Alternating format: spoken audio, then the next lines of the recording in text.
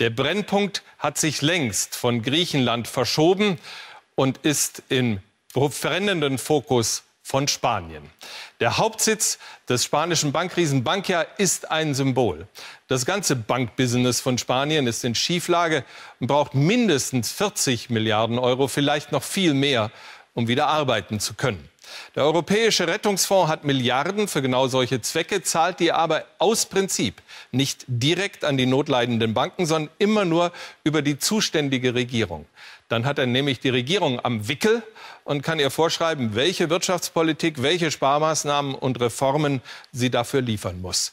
Das will die Regierung in Madrid unbedingt vermeiden und weigert sich, solche Hilfe anzunehmen. Spanien probiert, ob es Europa erpressen kann. Denn den Untergang von Spanien kann sich der Rest der Eurozone nicht leisten. Und da ist ein Nervenkrieg im Gange. Wer kann wem die Bedingungen diktieren? Christian Kirsch über Bewegung an der Front. Adios, Bauboom. Die Wirtschaft Spaniens nahe am Infarkt.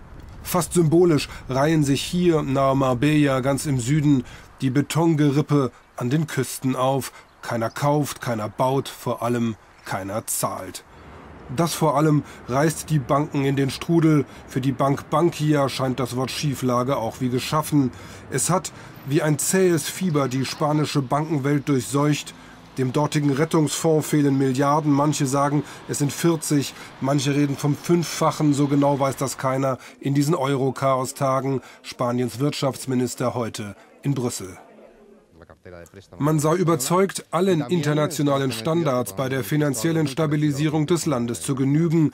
Die Regierung werde alles tun, um die Finanzinstitutionen solide mit Kapital auszustatten. Dazu ein umstrittener spanischer Vorschlag. Geld für spanische Banken direkt aus dem Euro-Rettungsschirm ESM.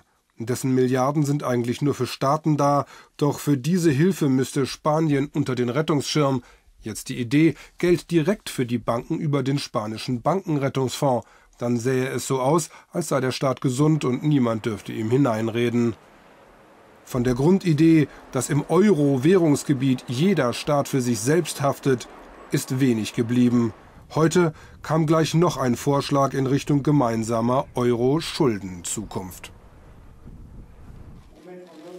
Heute in Brüssel der Binnenmarktkommissar Michel Barnier mit Grundzügen einer Art europäischer Bankenunion.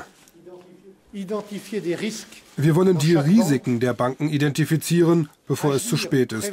Frühzeitig handeln, damit sich das Risiko nicht in eine Krise und diese nicht in eine Katastrophe verwandelt, für die am Ende die Staaten haften. Soweit so gut, doch auch dieser Vorschlag hat Tücken im Detail. Bislang haften Spaniens Banken für spanische Spareinlagen und deutsche Banken für deutsche. Die neue Idee, alle Banken im Euroraum sichern alle Euro-Spareinlagen. Spanische Sparbücher also auch gesichert von deutschen Banken, Haftung verflochten über ganz Europa. Diese Art Solidarität geht vielen in Deutschland inzwischen entschieden zu weit.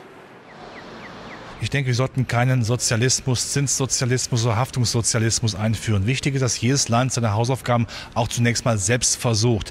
Mit Unterstützung sicherlich der EZB. Aber jetzt in Vorleistung zu gehen und sagen, Deutschland birgt für alles ohne Gegenleistung, das kann keine Lösung sein. Viel Arbeit wartet auf alle, die bald hier in der neuen Europäischen Zentralbank in Frankfurt einziehen.